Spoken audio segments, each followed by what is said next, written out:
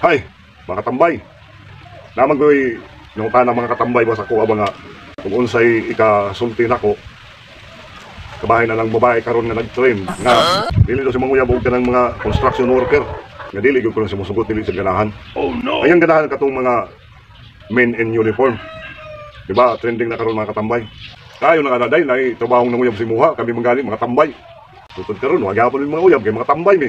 Ikaw gisayangan lang nimo karon, wala magkagusto nimo. Kaniyo paminawa. Kung nakagusto ba sa imuha? Construction mo eh, pero pasensya na, di sabi mo uyab ni Moy. Yun lang mga katambay. God bless. Ingat. Don't forget to smash the like button, subscribe, and click the notification bell for more great content.